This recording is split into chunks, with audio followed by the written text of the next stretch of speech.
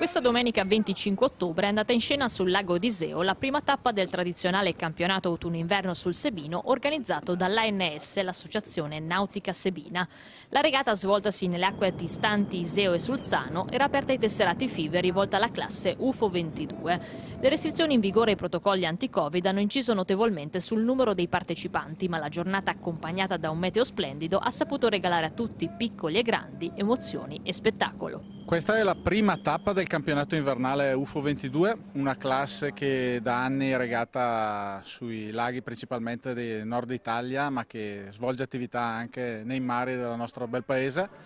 E si è voluta radunare la classe qui presso la nostra associazione perché abbiamo già una flotta numerosa che risiede qua presso il nostro circolo.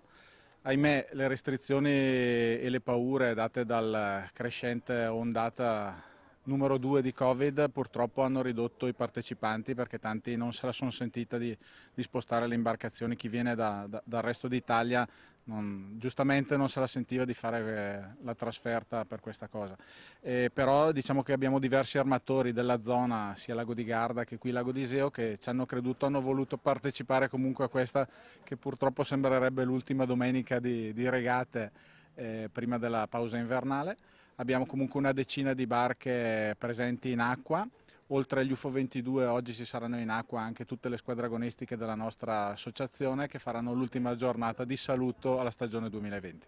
Il percorso della regata di oggi sarà un bastone, ci saranno tre prove e quindi sarà un bastone lungo circa un miglio nord-sud davanti alle acque del, del comune di Iseo, comune di Sulzano. Le altre tre tappe del circuito sarebbero in programma il 15 novembre e il prossimo febbraio, ma il loro effettivo svolgimento è strettamente vincolato al nuovo DPCM.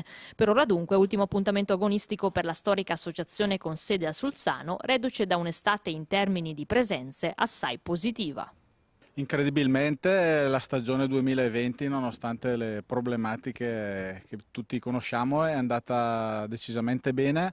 Abbiamo avuto una grande affluenza da parte dei nostri soci storici e un ritorno di tutta l'utenza eh, locale che ha rivisto nel, nel lago di Iseo, ha recuperato quello che era la possibilità insomma, di, di, soggiornare, di passare le vacanze e qualche giornata spensierata. Eh, dal punto di vista organizzativo eh, la macchina sportiva ha retto, eh, i ragazzi hanno trovato una bella valvola di sfogo nella vela, un posto dove poter interagire anche in maniera sicura e quindi direi che non possiamo non essere contenti di questa stagione 2020 nonostante tutto.